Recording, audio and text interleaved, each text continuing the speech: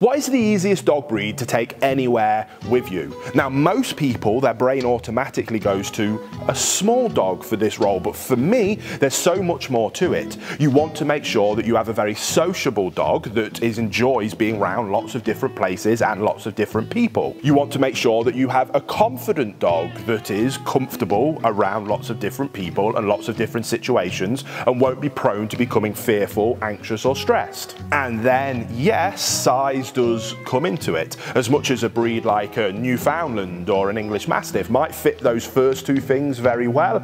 Getting them in and out of cars, getting them into certain spots in the pub where you want to just curl them up under the table is definitely not going to be as easy. On the medium size, the breeds like the Labrador is an absolute no-brainer, but if you want a dog that really can go everywhere because of the small package and that they're confident and that they're sociable, for me, I love breeds like the Cavalier King Charles Spaniel.